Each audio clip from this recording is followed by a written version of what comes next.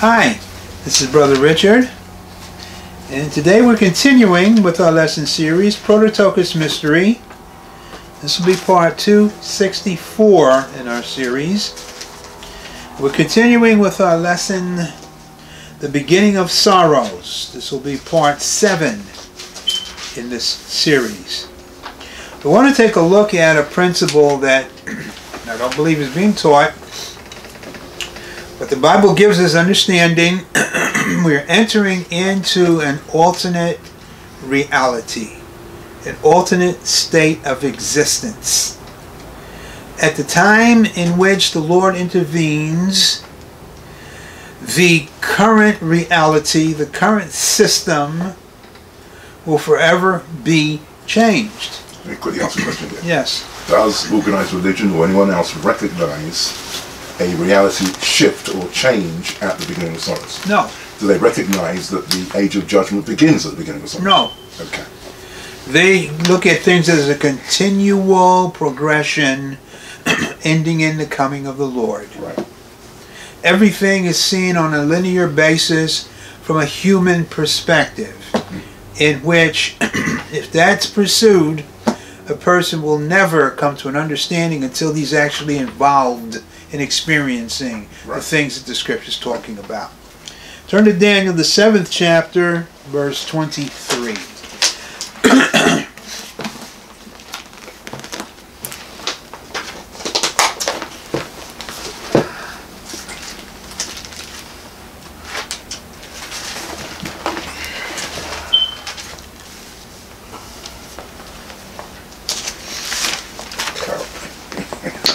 Thus he said, fourth beast shall be the fourth kingdom upon earth, which shall be diverse, altered from all kingdoms, and shall devour the whole earth, and shall tread it down and break it in pieces. So, what's being said here, when this kingdom is released, it will be uniquely different from any other kingdom that has ever existed in the time of man's existence on the earth. Its reality, its state of being is going to envelop the whole earth. It says it will devour the whole earth. The current reality that we exist in is designed for the Adamic race to exist and flourish.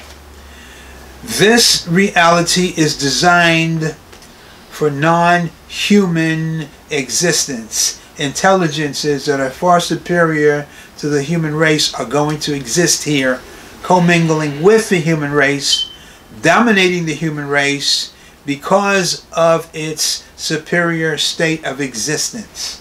At what point do the Rothschilds, Rockefellers, all of the wicked of the earth from the human perspective understand we've been tricked, it's all over? They will never. They will never. Unless you understand it beforehand, you're going to come into the, con- the contact with an intelligence, a, su- a, a, a, a superior state of existence you'll never understand. But since if you have no exposure to scripture at all, so then you're going to be in total confusion. If you have involved, if you have some scripture in your, then the pieces will come together for but you. you're looking at it from the scriptural point of view, as, as we would look at it.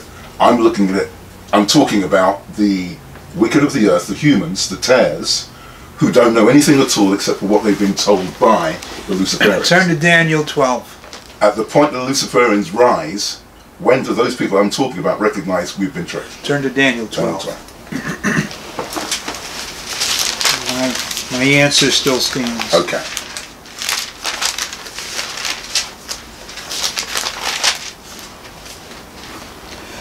Verse 8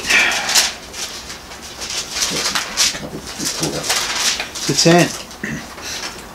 Of course, yes. I heard, but I understood not. Right. Then said I, O my Lord, what shall be the end of these things?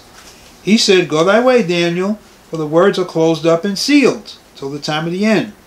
Many shall be purified and made white and tried, but the wicked shall do wickedly, and none of the wicked shall understand. But the wise shall understand. They will never understand. So they're always going to believe that this is what they've been working towards. They're going to believe a million and one different pseudo impressions Okay. in their mind, in their brain, which mean absolutely nothing. Right. Depending on whichever they encounter. Okay. So they'll believe anything that anybody tells them. Right. They have no idea. So they're, they're, they're zombies from that point, essentially. Yeah, they have no way of gauging. That's why you know the scripture doesn't it doesn't warn in vain. this side of the judgment, get what's needful, get wisdom, get understanding, enter into harmony with the Holy Spirit, Right. so you can be prepared for these things. When these things happen, it's too late then. You see, I'm raising this question because we all know people who believe that when something terrible happens, I mean, they, everyone knows that you know, the Lord is coming, blah, blah, blah, blah, something's going to mm. happen. They all think that they're able to have conscious thought, able to deduce this, have objectivity, understand it. They have- They have no concept that the moment that this line is crossed, they can't think anymore. That's it. That's it. Because they haven't been told. Yeah. They have no imagination to comprehend these things. They see things from a linear human perspective and they projected everything. They look at heaven from a human perspective. Sure. They look at the future from a human perspective. The Bible says that they will look from a continuous linear perspective until the end. Mm. That's why the human race is doomed, with the exception of those whose names are in the book of life Amen.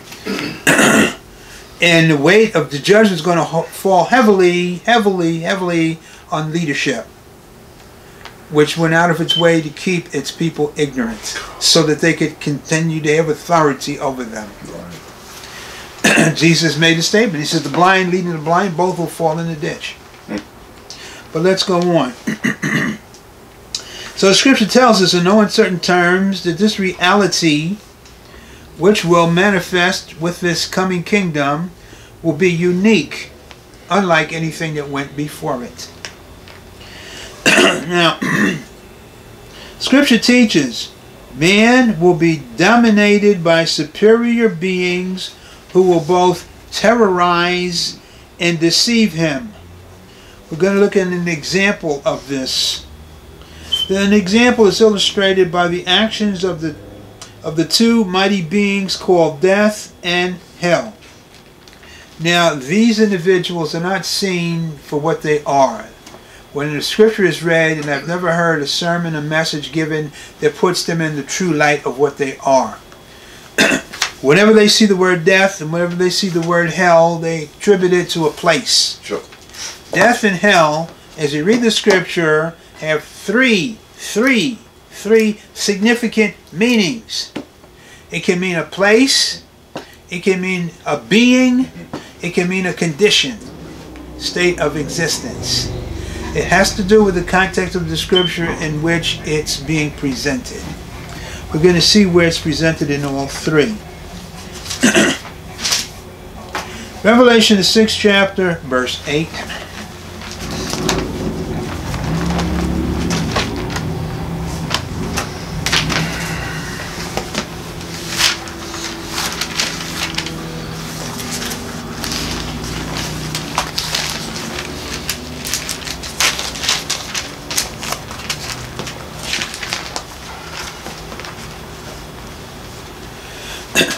And I looked, and behold, a pale horse, and his name that sat on him was Death. Thanatos in the Greek. In hell, Hades, followed with him, and power, authority, was given unto them over the fourth part of the earth to kill with sword, with hunger, with death, and with the beasts of the earth. These are two mighty ascended fallen beings who have dominion over two specific regions in eternity.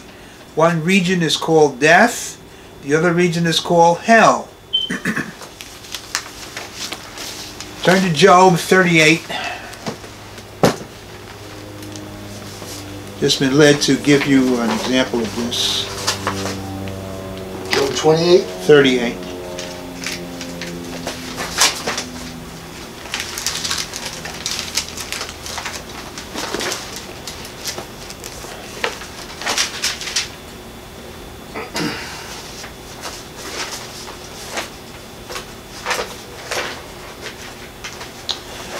Here, Elohim speaking to Job. We're going to pick it up, verse 17.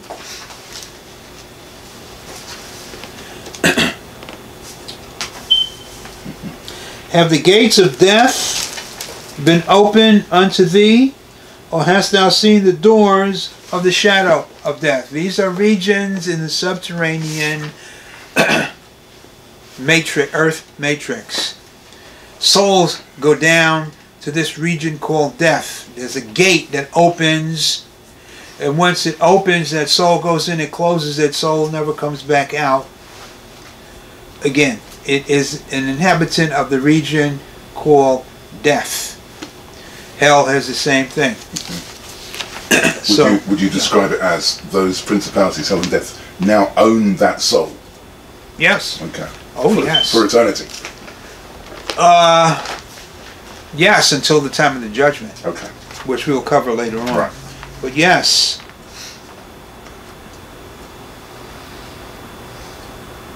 Now,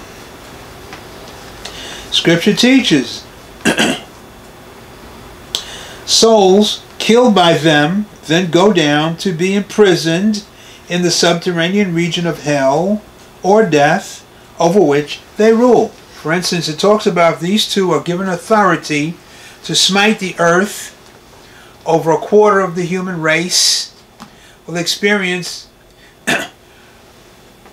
death by various means. Say, for instance, the one on the horse, who is death, smites 10,000 people, kills them outright. A plague, uh, uh, earthquake, or whatever it is he chooses, those 10,000 souls go down to his region. And they're, they're, they're captured until the time of the judgment. This is happening today. People are dying and going either to the region of death, region of hell. What determines which region they'll end up in? The behavior. being that engineers their demise. Okay. Not necessarily the person's own behavior. Uh, well, that can be too, because you have the law of sin and death. Okay. Everything works in harmony with each other. Depending upon the action of the person, depends upon the connection that they have. If they belong to the Lord, then they're not going to have any connection at all with any event that's going to take place between the actions of death or hell. If they don't, a person gets killed in a drive-by. A person gets wiped out in an air crash. Uh, somebody else slips on a banana peel and gets killed. All this is engineered by the spirits, which people seem to think it's an accident. Sure. Not. Of course it's It's, not. it's engineered. Do you believe that those who worship um, what they call it, Santeria, they worship the, the person of death. Mm-hmm. The, the moment they start worshipping that person, does he have their soul? Certainly, Okay. certainly. And that connection is fixed forever from that point on. So therefore, that then when that person dies, that go- definitely yeah, to be exactly, exactly. He's lined himself up with that being. Right. Let's go on. Scripture teaches at the time of the great judgment, these souls will be called forth and stand before God. They're going to be called out of the region of death, out of the region of hell. Revelation 20, verse 13.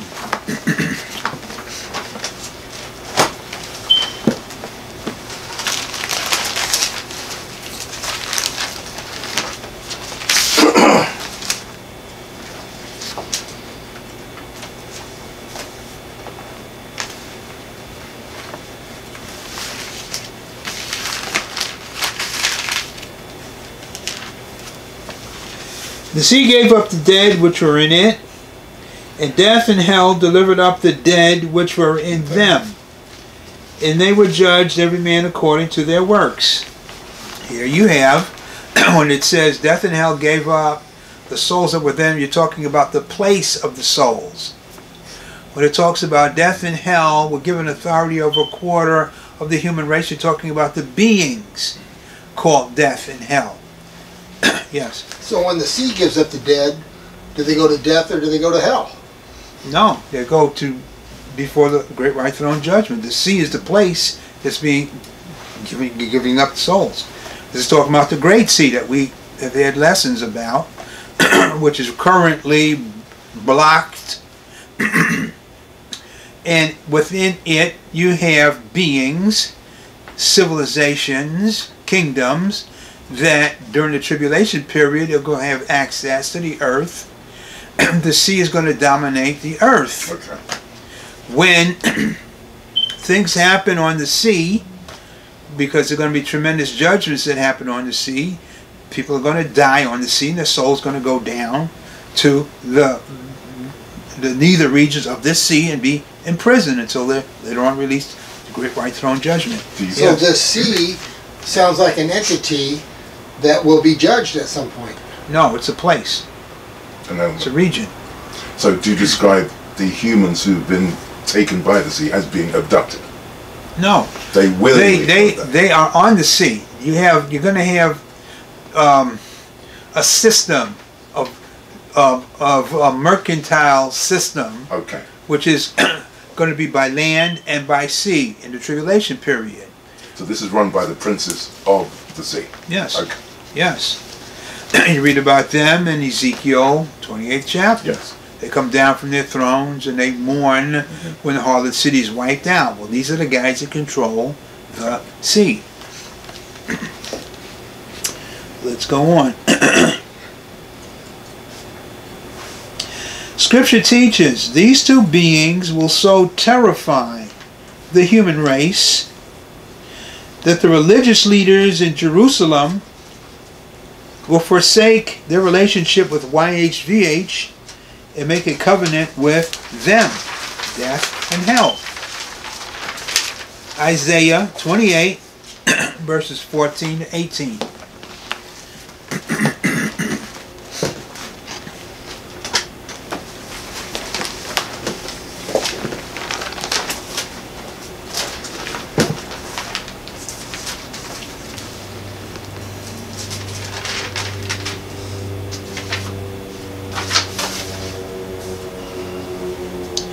Wherefore, hear the word of the Lord, ye scornful men that rule this people which is in Jerusalem. It's talking about the religious leaders during the tribulation period. Because ye have said, We have made a covenant with death, and with hell are we at agreement. So they make agreement with these two beings. Why? to keep them from terrorizing them in their ri- ri- ritual traversing of the earth. when the overflowing scourge shall pass through, it shall not come unto us. For we have made lies our refuge, and under falsehood have we hid ourselves. This is the covenant that later on the uh, Antichrist is going to expand. Should we understand, therefore, for that period of the covenant, they, the Jews, believe that nobody among them will die Yeah. of anything. Well, it's not that anybody won't die. It's that they they're going to see these beings as they roam over the earth, wiping out everything. Okay. They make a covenant with both of them that when they traverse over the earth, they're going to spare Jerusalem and wipe out whatever else it is that they want. They they, they get their word that they're going to do this in turn for what? Allegiance, worship. I was just wondering if it, if it's uh, extended to you know the natural order of death, but of No, no, no. People are going to still die, but what they're doing is they're trying to alleviate this terror of these two beings. They're terrorizing the whole human race. and the Lord here, this is um, this is Elohim, is saying, you think you have an agreement with these two. Uh, you're going to make an agreement with lies and falsehood, with beings that don't keep their word. You think they're going to spare you, and he goes on to talk about it. verse 16. Therefore, thus saith the Lord God, Behold, I lay in Zion for foundation a stone, a tried stone, a precious cornerstone, a sure foundation. He that believeth shall not make haste. What is this he's talking about? Jesus. Exactly. The new covenant in Christ. Cornerstone of Christ. Where does the Lord, where does Elohim threaten hell and death and tell them that he has a, I've forgotten the word that was used, a controversy, let me use that term, against them?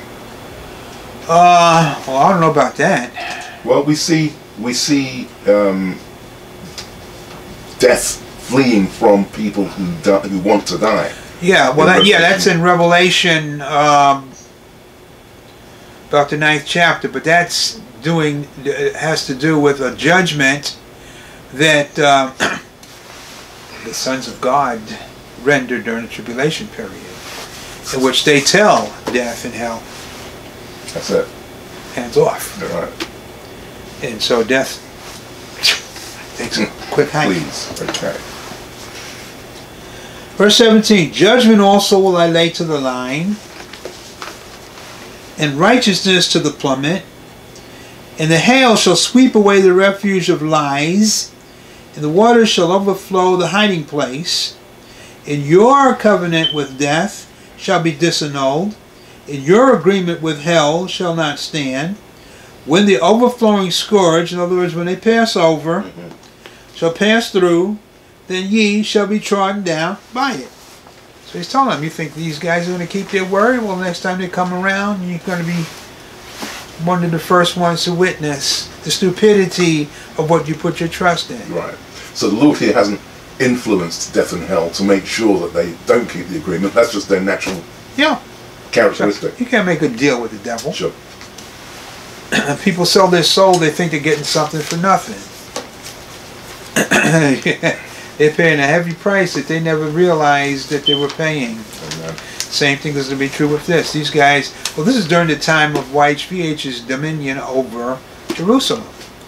And this is e- even before the beast makes his appearance. Hmm. And these guys are going to forsake YHVH, put him on a, aside, and try to deal with these two through giving them their loyalty, their obedience, and all the rest of it. Well, let's go on.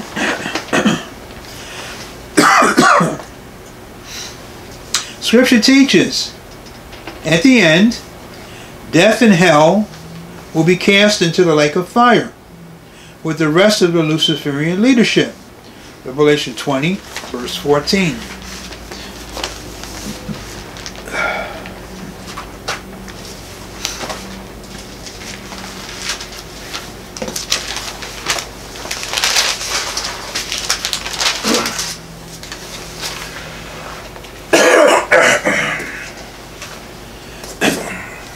And death and hell were cast into the lake of fire.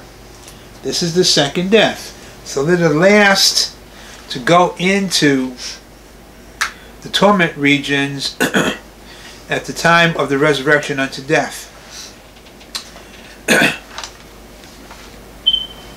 that seals it. After that, they enter into the millennial period. Yes.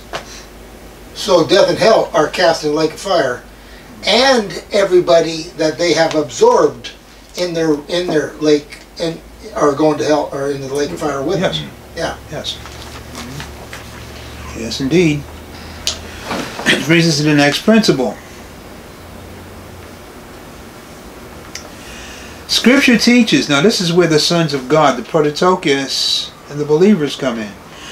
Scripture teaches, before the release of these, the wise and faithful servants of the Lord will have been filled with the power of God and be doing mighty works. John 14, verse 12.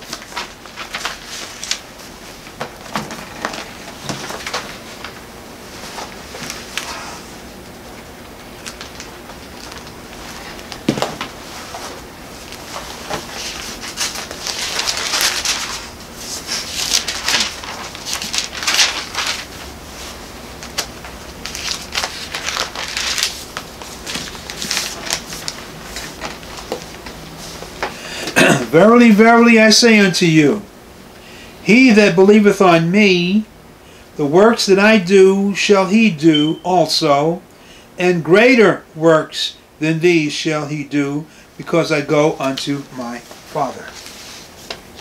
This has not happened as of yet. Why? Because of organized religion. When this is done away with, this reality here, and all that stuff is done away with, and God assembles the church, gathers his people together, the principal people, the movers and shakers, the teachers, are going to walk in the power of the Holy Spirit, doing the things that Jesus did and greater. Amen. Yes. Mr. Jones, when the gathering happens, hmm are there going to be those of us who should be teachers there and are being taught? No. No. No, they won't make the gathering. God's not going to put up with that nonsense. Only those that are 100% committed are going to make the gathering. Because those that are 100% committed who have fed his sheep go on to enter into their inheritance mm-hmm. and become rulers over his whole household. Amen. But let's go on. Scripture indicates although the fourth empire will appear, it cannot manifest these beings until the powerful sons of God are gone. You're going to see the fourth empire appear, beginning of sorrows, but you're not going to see these beings appear until after the rapture. Second Thessalonians, second chapter, verse 5 to 8.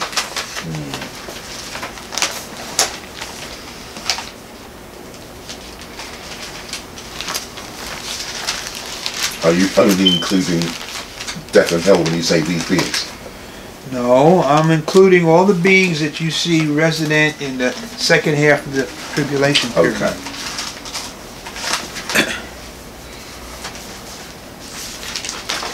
Second Thessalonians, second chapter, verses 5 to 8.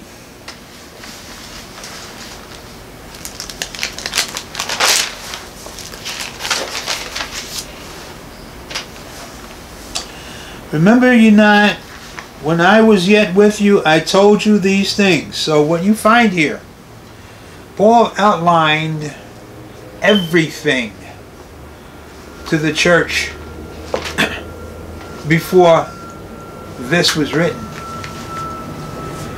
The scrolls that he gave were lost by the church. That's why they came under a judgment. Because they were to be custodians over the mysteries of the kingdom of the heavens, they failed. So a judgment came on them and they wound up coming under the world church and all the nonsense that went with that. Anyway,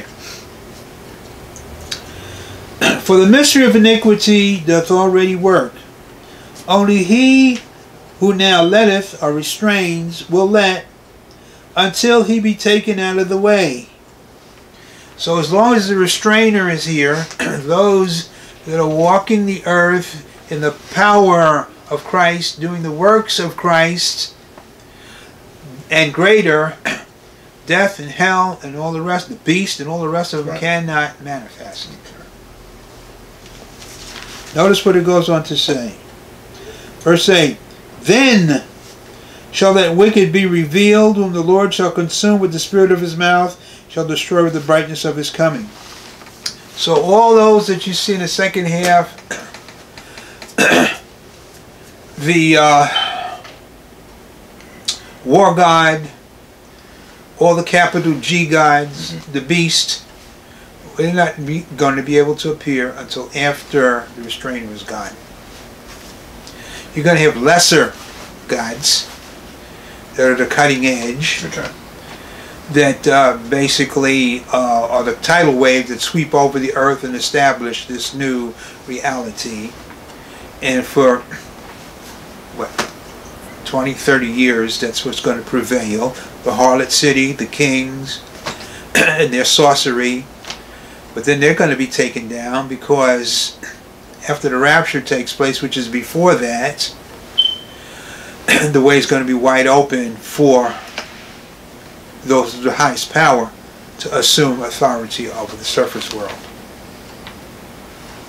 If, not if, because those that letteth hold back the Luciferians with the highest power by their letting, how is it that those with the those Luciferians with the lowest power are able to go about their business on the surface at the same time that those who let are physically Because they don't present any threat. okay Those with the power are dealing with the prototokos, teaching, ministering, preparing the saints for the rapture. They're in the communities. These other guys are outside doing their thing. So there's no climax here until after the rapture, when they sweep over the rest of the world and, and you have a new situation taking place. Hmm. Since they know they the Luciferians the mo- more powerful ones know that um, in fact even before the gathering that groups of Prototokos are teaching studying so on and so forth and they know that they can't you know, uh, go against them in any way I'm sure they've just been told don't even think about it you know, we'll send Brother Brace after you. So once they once they understand that at what point do they think that they can come against Christ? And the reason I'm asking this question is because we see towards Revelation 9 or 10 or somewhere somewhere in, in that area, the unholy three, as I call them, send out demons against their own compatriots to confuse and uh, give them some kind of some kind of you know, uh, delusion that Christ is right there and he's going to come and deal with them uh, immediately. Well, what they're doing is to gather them against the Lord that they know is going to invade with the saints. Right. But uh, that's a different, a whole different thing. But turn to Revelation 12 chapter. Okay.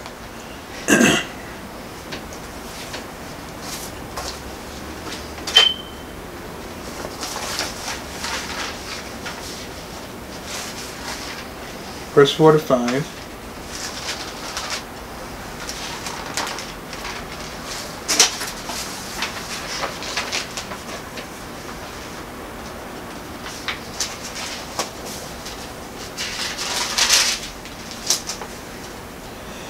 And his, the dragon's, mm-hmm. tail drew the third part of the stars of heaven and did cast them to the earth.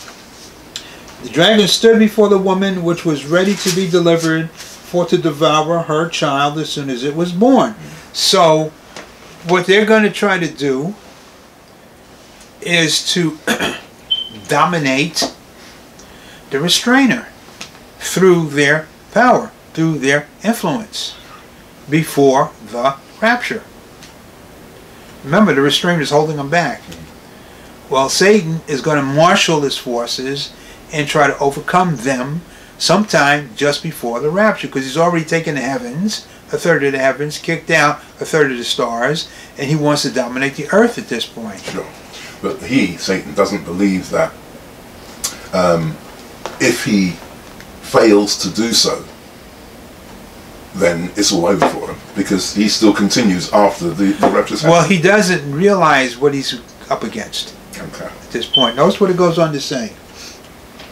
Verse 5 And she brought forth a man child who was to rule all nations with a rod of iron, and her child was caught up, caught up. That's the rapture unto God and to his throne. So what he's dealing with here is he's seeing the power manifest, the glorification. He he didn't have a clue Okay. Of what was happening. He sees the saint operating in the power of Christ, uh, doing the works of Christ. He gets power amalgamated so that he can take out a third of the angels of the heavens, and then he's going to try to come down and deal with those same saints that have been the restrainer, thinking now he's got more power to do it. Right. Okay. Rapture takes place, the glorification takes place, wipes him on his tail, and uh, the, the, the curtain is shut on that. You, you said it because he thinks he now has more power to do it. That's the key. Yeah. Okay. Yeah. But he can still attack the left behind Christians. Which he does. He takes over the world, him and uh, the Luciferians. This opens the door for the things that are going to come uh, into play during the tribulation period, which are controlled by the sons of God. They don't have a clue as to what God's plan is and the power that's going to be exerted. They understand, they're used to manipulating through the corrupted wisdom humans. They don't realize that according to the Father's plans, they're going to be just as manipulated as the humans they Right. once manipulated Right. By the sons of God. The beauty of this is that at this point, everybody has an opportunity to get in on the ground floor Amen. if they so choose. Well, the ones that being ma- manipulated, will be manipulated, will they know they're being manipulated? Most definitely. Most definitely. Well, the difference between here and there is people don't know they're being manipulated here. Exactly. The only way they can find out is to have the Holy Spirit give them the understanding that they're being manipulated. And the only way they can do that is totally commit and be born again and begin serving the Lord. Let's use these truths. Absolutely. People like to play games, head games with themselves, thinking, and that's a, that's a manipulation right there. Satan delights in doing that, making Christians rationalize doing what they know they shouldn't be doing, but making it all right, and bringing themselves into a state of bondage through doing it, perpetuating it.